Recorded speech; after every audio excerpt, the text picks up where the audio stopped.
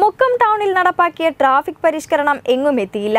ആറു വർഷം മുൻപ് നടപ്പാക്കിയ പരിഷ്കരണം ഇപ്പോഴും തുടങ്ങിയിടത്ത് തന്നെയാണ്. ബസ്സുകളുടെ റൂട്ട് മാറ്റം മാത്രമാണ് പൂർണമായും നടപ്പാക്കാനായത്.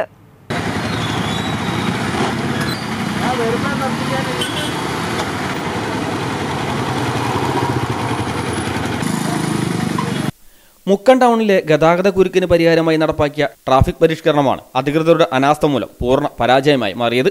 ആറു വർഷം മുമ്പാണ് മുക്കത്ത് ട്രാഫിക് പരിഷ്കരണം നടപ്പാക്കിയത്. എന്നാൽ അന്നെടുത്ത പല തീരുമാനങ്ങളും ഇപ്പോൾ കടലാസിൽ തന്നെ ഒതുങ്ങിയിരിക്കുകയാണ്.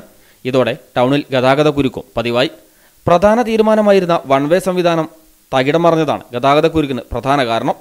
Mukkam bypass orphanage road market road P C road Abhilash junction മുതൽ ആലിഞ്ചോട് വരെയുള്ള റോഡ് എന്നിവയെല്ലാം വൺ വേ ആക്കിയിരുന്നെങ്കിലും ഒന്നും നടപ്പായില്ല. ഈ റോഡിലെല്ലാം ഇരുഭാഗത്തേക്കും വാഹന ഗതാഗതം ഇപ്പോഴും നടക്കുന്നുണ്ട്.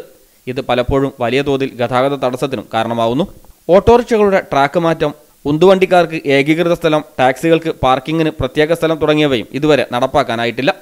ആവശ്യമായ പോലീസിനെയും ഹോംഗാർഡുമാരെയും ലഭ്യമല്ലാത്തതാണ് പരിഷ്കരണം പരാജയപ്പെടാനുള്ള പ്രധാന കാരണം. ബസ്സുകളുടെ റൂട്ട് മാറ്റം മാത്രമാണ് തീരുമാനിച്ച കാര്യങ്ങളിൽ പ്രാവർത്തികമാക്കാനായത്. പരിഷ്കരണം പൂർണതോതിൽ വിജയിപ്പിക്കുന്നതിന് നടപടി ആവശ്യപ്പെട്ട് അന്നത്തെ നഗരസഭാ കൗൺസിലർ മുക്കം വിജയൻ മുക്കം പോലീസ് സ്റ്റേഷനിലെത്തി സഹായം അഭ്യർത്ഥിച്ചിരുന്നെങ്കിലും നിരാശയായിരുന്നു ഫലം. നിരവധി തവണ ഡിവൈഎസ്പി മുക്കം പോലീസ് എന്നിവരെ നഗരസഭാധികൃതരും ബന്ധപ്പെട്ടിരുന്നു.